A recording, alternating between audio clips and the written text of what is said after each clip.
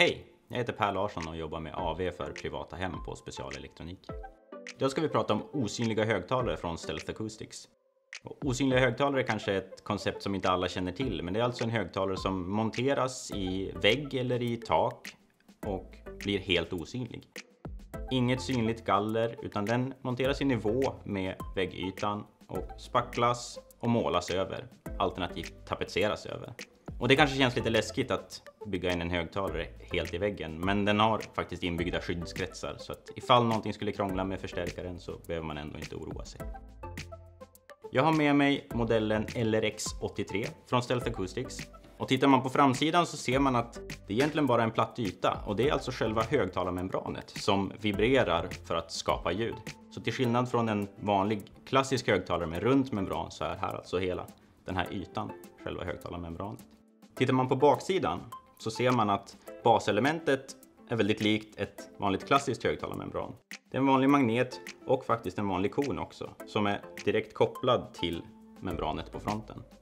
Diskant och mellanregister sköts av separata drivers som är direkt kopplade till membranet på fronten.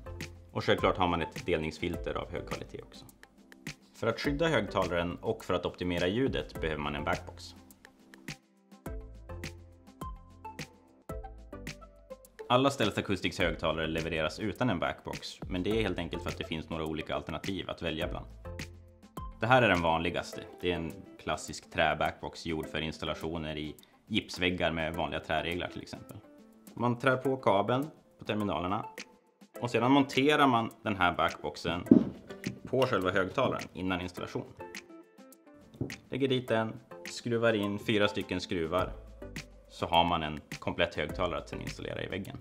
Utöver den här träbackboxen så finns det också en justerbar metallbackbox för lite utökad flexibilitet och en dedikerad modell för installationer i exempelvis betongväggar.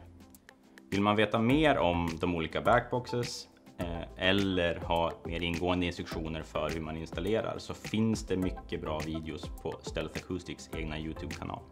Utöver den här LRX83 som vi har idag så finns det ett gäng andra högtalare för olika typer av scenarion. LRX83 är en väldigt kompetent modell med ljudkvalitet som är bra nog för en hemmabio eller vanlig stereolyssning. Men de har också enklare modeller för exempelvis ett multiroom-system i köket.